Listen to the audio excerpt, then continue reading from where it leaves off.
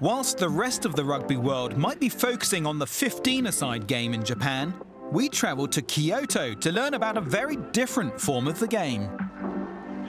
はい、あの田んぼラグビーは田植え前の田んぼですね田植え前の田んぼで、えー ラグビータッチラグビーをするっていう、まあ、競技といいますかあのボールを持った鬼ごっこみたいな感じであのたんあのラグビー自体を身近に感じていただくというところもありますしあとはまあ農業っていうところにおいても身近に感じていただく自然をあの感じていただくっていうところで。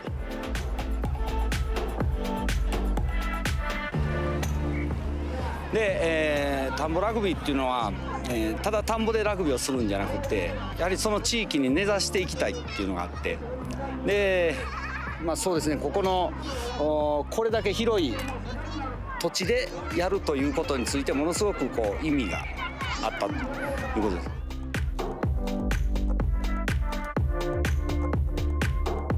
えー、何かいい方法はないか皆さんたくさんの方が来られる形。えー、大人も子どももねあの楽しんで、えー、交流できる形っていうところを、あのまあ、いろいろ考えてたんですけども、まあ、その農地を活用して、えー、農業を発信したりあと、えー、向島の歴史を発信したり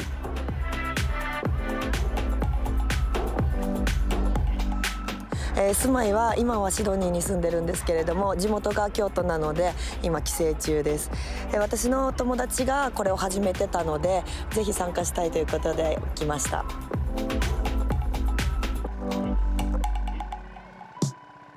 ルールは えっと普通のラグビーではなくて、えー、タックルはなしです、えー、タッチラグビーです。でそれぐらいですかね。あとはもうイージーです。イージー違うな。いい加減です。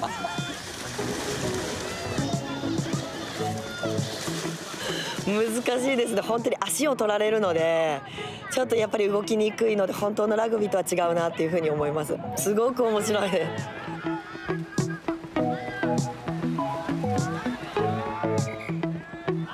それが結構あのいい感じで進んでるみたいで、えー、2点入るとこう逆転できるとかでまあたくさんの人が見ておられるんで、えー、やっぱりこう見せるっていう意味ではすごく、あのただポッて置くよりもいい感じになるんじゃないかはい。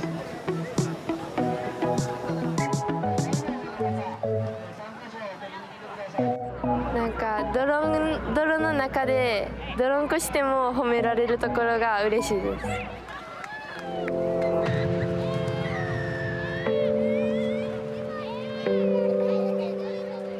あのまあ、そういったあの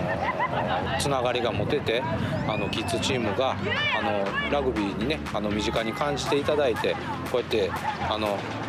ラグビーをしたいなって思ってくれたらいいかなとは思いますね。はい、チームが作れていけたら、はい、で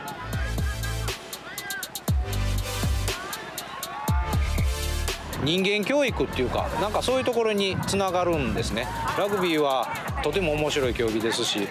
ただやっぱりあの人間教育っていうところの手段っていうふうに僕は思ってます。はい